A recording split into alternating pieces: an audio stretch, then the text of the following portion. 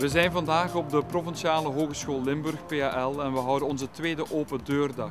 En deze open deurdag staat alles in teken van een goede studiekeuze te maken. Sfeerproeven, maar ook u goed informeren en kijken welke opleiding het best bij je past. En het is een moeilijke keuze waarin wij als PAL ons beste beentje zullen voorzetten om u daarbij te helpen.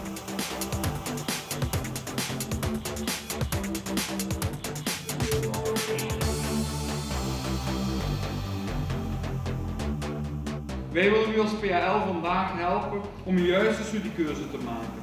Wij willen uw gids zijn in het complexe bos van bachelors en masters.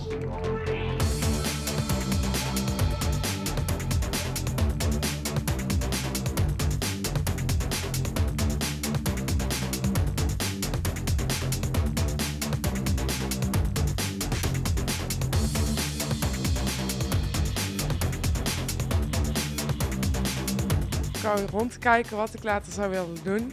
Ik heb nog geen idee en ik zou graag wat informatie willen opdoen.